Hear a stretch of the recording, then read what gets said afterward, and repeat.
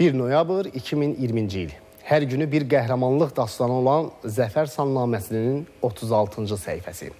Tarixi qələbəyə sayılı günlər qalırdı. Artıq hər kəs bu dəfə bizi kimsənin dayandıra bilməyəcəyini, yəni güzəşdə getməyəcəyimizi, münaqişənin tamamilə bitəcəyinə inanırdı. Çünki müqəddəs missiyamıza aparan yolun böyük hissəsi qət edilmişdi. İgidlərimiz 36 gün ərzində 200-ə yaxın şəhər və kəndimizi düşmən tapdağından azad etmişdi. Vətən bizə oğul deyirdi. Haqq savaşımızın 36-cı günündə yaşananlara qısa nəzər salaq.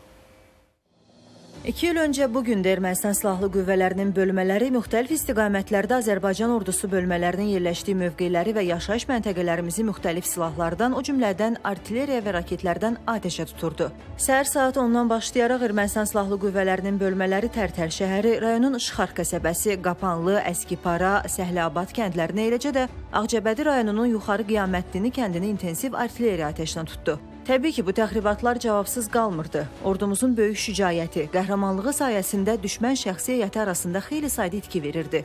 Həmçinin düşmənin döyüş texnikaları da darmadağın edilirdi. Biz düşmən üzərinə hücuma keçdiyimiz zaman düşmənin qızıl beşliklər formasında yaratdığı birliklərlə rastlaşmalı olurduq. Və biz xüsusi təyinatlı qüvvələr olaraq bizə xüsusi tapşırıqlar verilirdi. Biz basqın, pusqu və digər hərbi əməliyyatları həyata keçirirdik. Biz düşmənin müəyyən hərbi obyektlərinə basqınlar, pusqular həyata keçirərək artıq düşmənə həmin ərazilərdə bizim var olduğumuzu, lakin görünmədən məhv etdiyimizi göstərməyə çalışırdıq. Ordumuzun sayıqlığı və peşəkarlığı nəticəsində Ermənistan silahlı qüvvələrinə məxsus 2 artilleriya batereyası, Zəngilan rayonu sahəsində bölmələrimizin mövqelərini atəşə tutan düşmənin 2 BM-21 qrad yaylım atəşli reaktiv sistemi, hərbi avtomobil korteji məhv edilmişdi.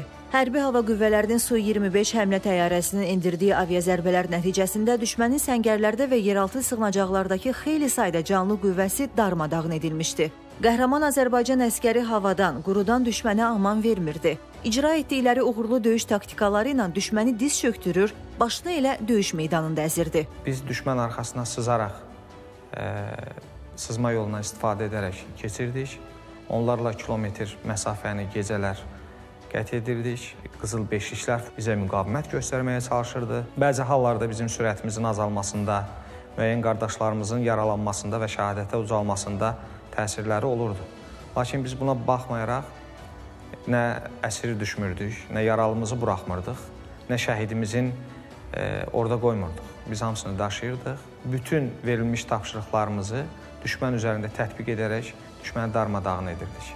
Böyük səfərimizə isə cəmi 8 gün qalırdı. Qarabağın tacı Şuşamız azad olunmasını, öz sahiblərini, bizi səbirsizliklə gözləyirdi. Şəlalə Qaşırınova, Cavidan İlhamoğlu, ATV xəbər.